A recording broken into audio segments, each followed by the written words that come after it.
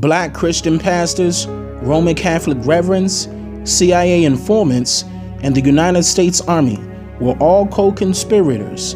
The United States government and one.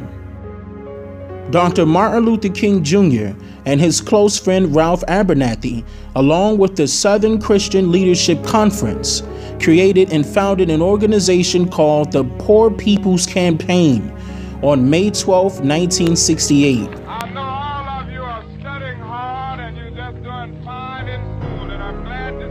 The campaign's sole intent was a multiracial effort to gain economic justice for poor Americans. People just don't know, but it's really hard. Not only me, it's so many more in the same shape. I'm not the only one. It's just so many of us right around. Just don't have shoes, clothes. They's naked and hungry. By the time you have to cook your children pinto beans morning, down and supper. They don't know where they'll get a good meal. you all are really to be admired. I want you to know that you have my moral support.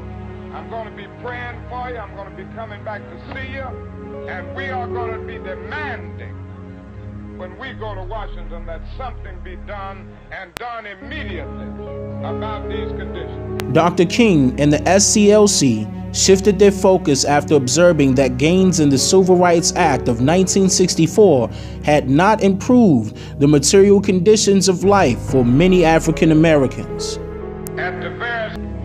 Many people have stated that this is the lecture that led to his assassination in April 1968, the same time that was supposedly set for the Poor People's Campaign to go to Washington, D.C. So the organization that mobilized it was essentially decapitated and thrown into chaos about three weeks before it was supposed to happen. Once the Civil Rights Act was completed, the government was through dealing with consciously knowledgeable African Americans like Dr. King. There was never any interest by the government in reconstructing the economy for the benefit of the poor. That is considered to be a big no no in the United States. This is a capitalist society.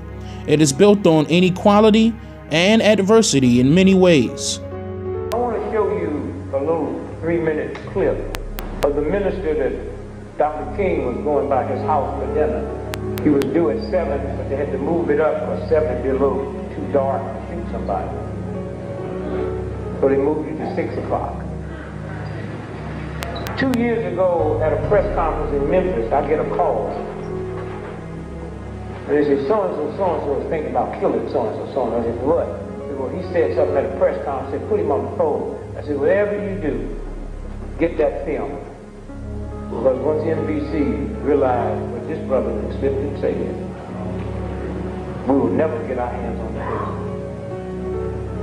What you fixing to see now went into the evidence in the King trial where they brought a wrongful death suit, and I'll explain that to you quickly in a minute.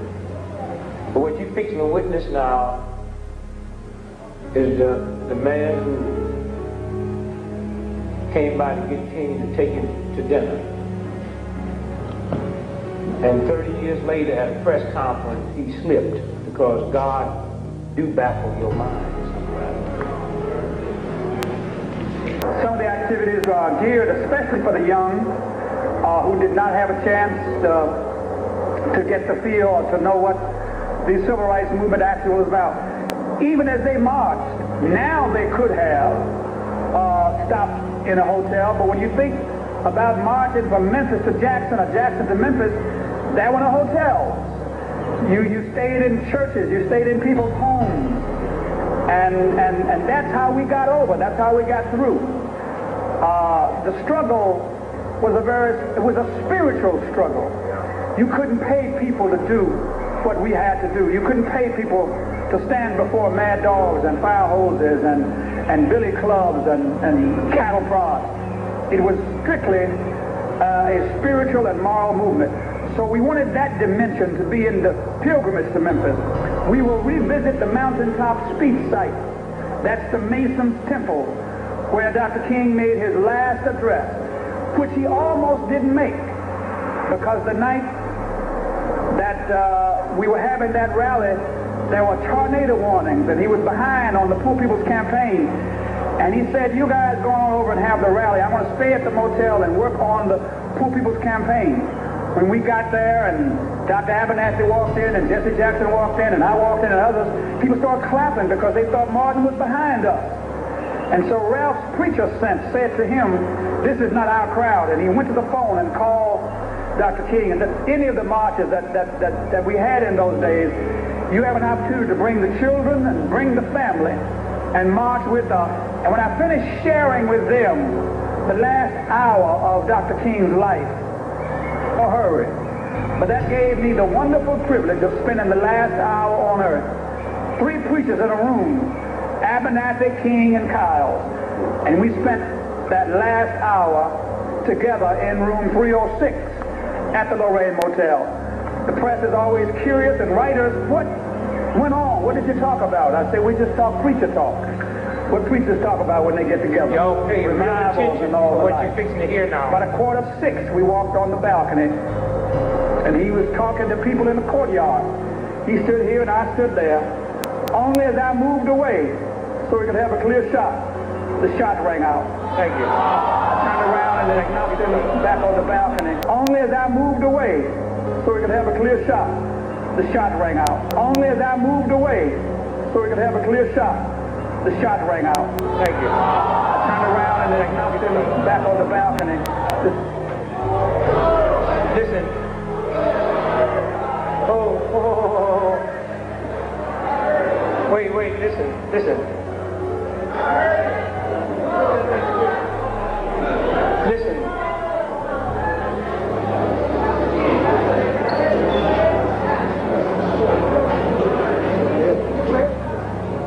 Thirty years later, this brother never realized he would slip and say that. Do you know what happened when you sitting in a jury room about a conspiracy and this piece of film is introduced?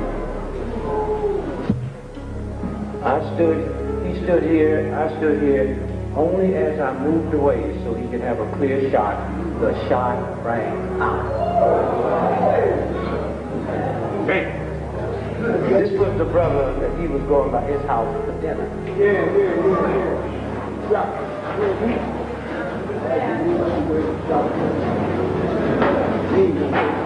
Now, to my brother Matty, you will have a copy of this tape. I'll get it back to you. And what you should do is make copies.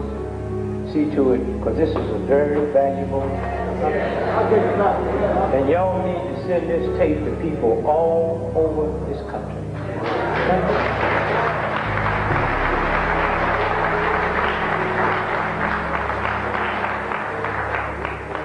And so this was the trial that went on that the press didn't want to report because they couldn't. Huh? They couldn't.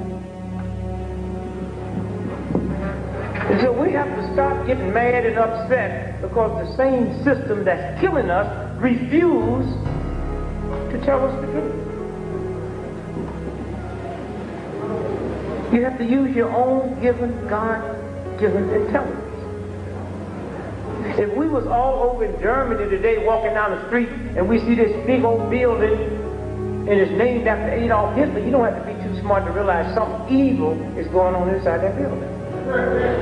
How come you don't understand that when you walk down in Washington, D.C. and see that big old brand new FBI building named after J. Edgar Hoover? How come we don't know something evil is going on inside that building? Let me briefly tell you some of the things that you overheard. The trial should have lasted a day and a half. It lasted 30 days. The black press in Memphis didn't even show up.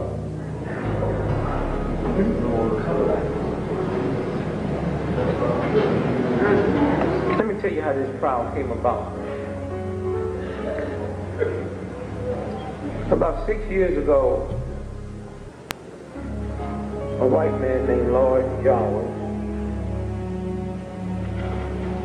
who probably, now, this is just my philosophy, believe, who probably was told they're fixing to blame the King murders on you. So he went to ABC And they did a whole session with him, telling them how he was involved with the conspiracy and who it was. And then they never ran it. So now he's running for his life. So he goes to the king family. And he tells them the same thing that he told ABC. He tells them three times, and the fourth time, Andy Young. And they filmed it, they taped it.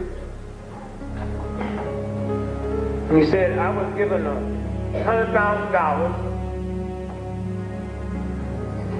by Frank Liberto, who was the mafia puppet who ran Memphis for the big mafia boys out of New Orleans. So it was Frank Liberto, he said, that gave him $100,000 to set up the whole mechanism for killing King. In the building right behind the Lorraine Hotel with the courtyard bumped into, Loyd Jowers had a restaurant called Jim's Grill. He also said that at the first meeting, here's who was there. So-and-so was there, so-and-so was there. And let me tell you, there was some black folks there too.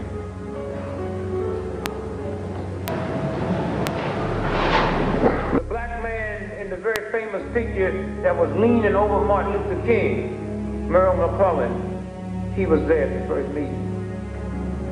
We didn't know at the time his job was to do two things. One was to point everybody in the wrong direction. It was him that pointed and said the shots came from there. Not only was he an undercover cop, he was so undercover that his paycheck didn't even come from the Memphis Police Department, came from the utility company. And now tonight, as we sit here, he's CIA. His other job was to infiltrate a little group of little juvenile thugs.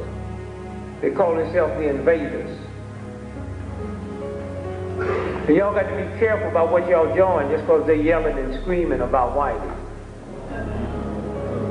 Y'all got to be careful about what kind of evil, nasty black folk you get around and want to go blow up something and then wonder why you get arrested on your way there.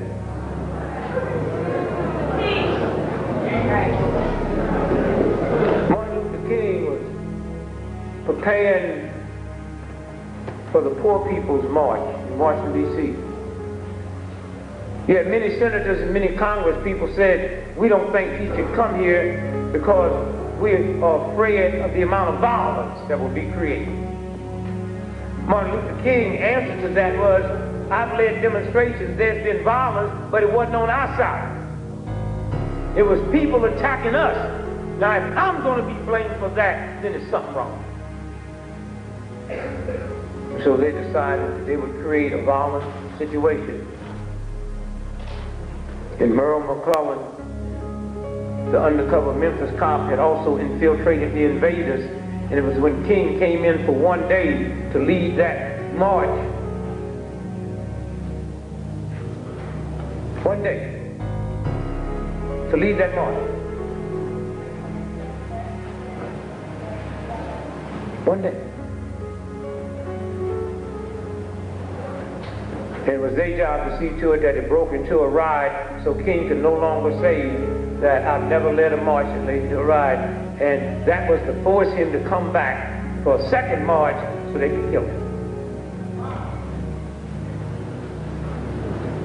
And so, all at once, the King family decides to sue Loyd Jowers on a wrongful death suit.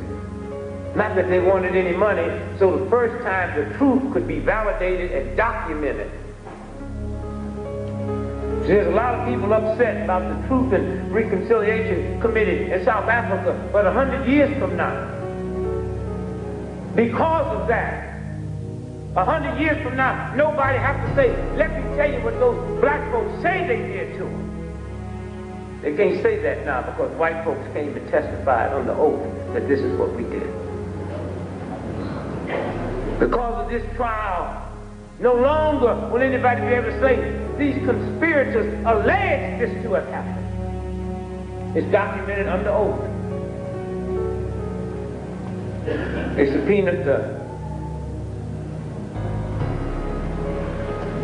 the captain who was over the fire station which was across the street, firehouse number two from the Lorraine Hotel. 34 years later, he's 34 years older, 7 years old, fat, getting ready to die, wanting to find Jesus. So he came and raised his hand and told the truth.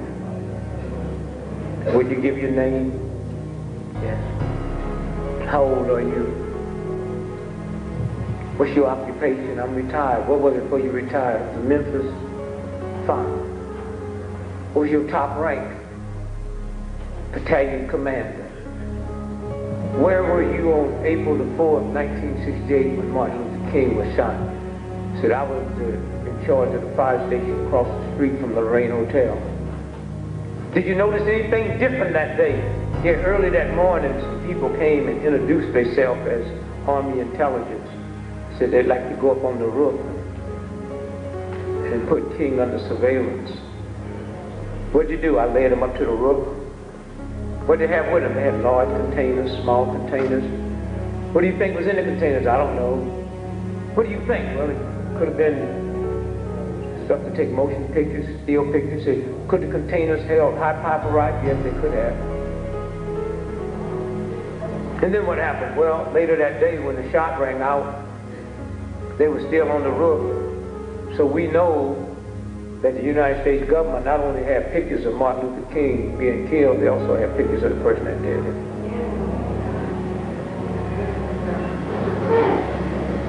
He said, but then what happened? He said, then I rushed across the street and ran up the steps where King was laying on the ground and I helped put him on the stretcher. Said, did you get to see the wound? Say yes. Would you describe it to the jury? Say the wound was going up which means he had been shot from down here, not up there. He's a white man who ran the fire station, who probably 30 some years ago couldn't care if King lived or died. He's a white man sitting there saying to six blacks and six white jewelry that yes, I saw the wound and the wound went this way. And the next one to testify testified that he had interviewed people from military intelligence, oh the 111, the 209. The 209 is so vicious, they were scared of CIA.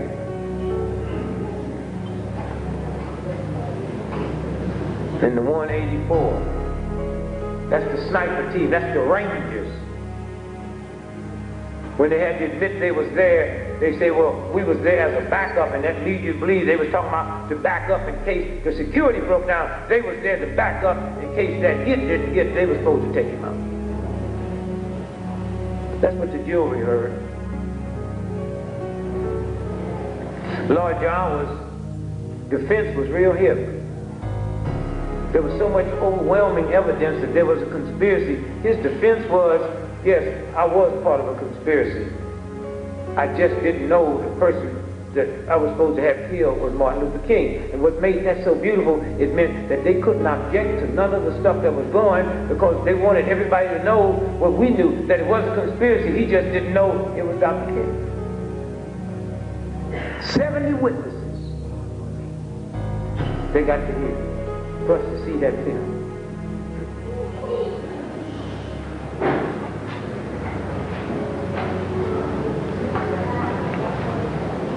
They got to listen to Earl Clark's wife. Who was Earl Clark? Well, when the shot rang out,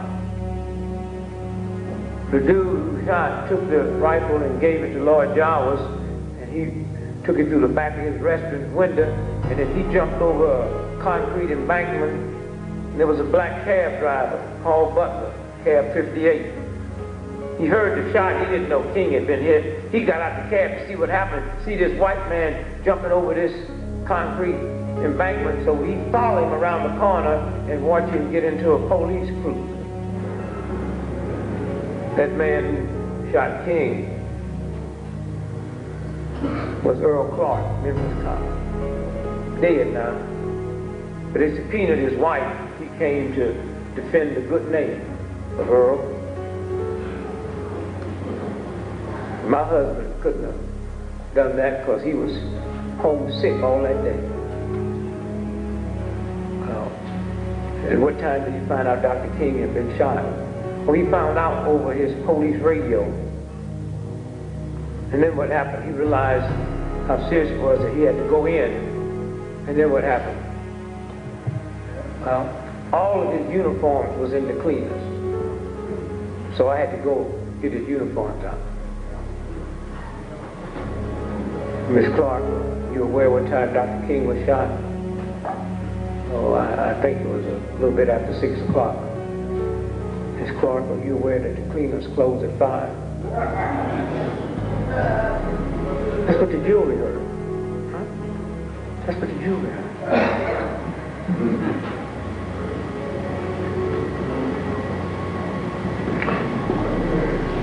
FBI agent by the name of Donald Wilson. He's the one that found the Mustang that Harvey Oswald was driving. He found it in Atlanta, and he found some notes in it that he said the minute he read the notes, he knew it was a conspiracy, but he called one of the numbers, this is 1968, that was on the number, and it ended up going to a nightclub in Dallas that Jack Ruby used to own, and Jack Ruby is the one who killed Lee Harvey Oswald, who was arrested for killing Kennedy. He said he got so scared he never turned it in because he thought if he turned it in and they know he looked at that, they would kill him. This is the FBI. And this is who we have to deal with every day. Those of us out here in the movement have to deal with folks who are a white FBI agent said, I didn't turn this stuff in because had I turned it in, they probably would have killed me. Hmm? That's some of the things they heard at the trial. Just to set the record straight, James Earl Ray never confessed to killing King. He pleaded guilty. There's a difference. If a cop grabbed me and said, I'll kill all your granddaughters if you don't say you took that purse. Uh, plead guilty. A confession means you have to know some of the intricate details that nobody else knows but the police who was there investigating it and the person that did it. He never confessed. This document went into the records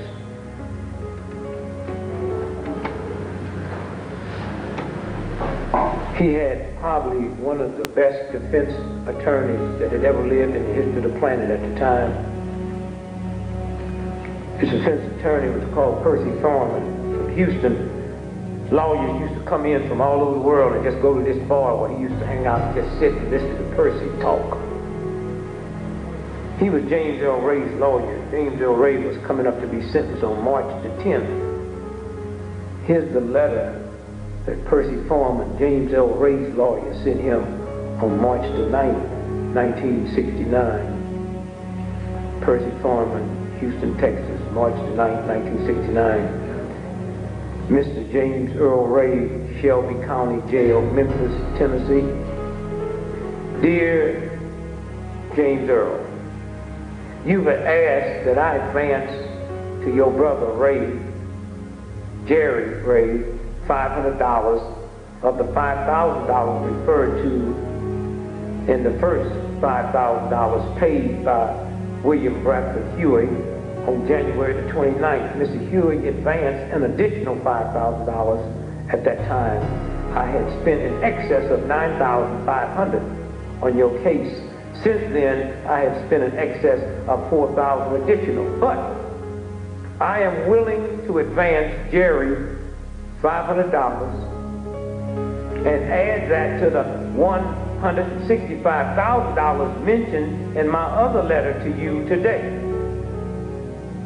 In other words, I would receive the first $165,500, but I would make the advance to your brother of $500. And this advance also is in contingent upon your plea of guilty at the sentencing tomorrow on March the 10th without any unseemly conduct on your part in the courtroom. Here's a man's lawyer that told him your father 30 years ago jumped bail. We're fixing to put him in jail. If you don't plead guilty, I, your lawyer, personally will see to it you get the electric chair. And, and all the way, we're trying to explain how y'all got all this money. So the government is going to say that your brother, you robbed banks, so he's going to jail if you don't go in and plead guilty to him. The jury got this letter from his lawyer promising him $165,000, but it was contingent on him guilty. Thank God to the King family.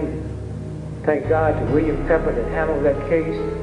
Thank God to everybody out here and the many people that died. His brother was murdered. They said he drowned in the swimming pool. Dr. King's brother, because he was questioning. AD. They tried to kill Coretta in the church and missed her and killed Dr. King's mother and made like it was some little crazy lunatic guy that came down. And yet, King family kept on moving. Never born with millions of dollars. Never had the gam glamour that the Kennedy family had, and yet the Kennedy family haven't spent one nickel trying to find out what had happened to the Kennedys, including that funny little thing that went down with John John last summer. Thank you. And so I say to you tonight, make no doubt about it, we are in one of the most evil, nasty, vicious, insane, ungodly, unethical systems that's ever existed in the history of the planet.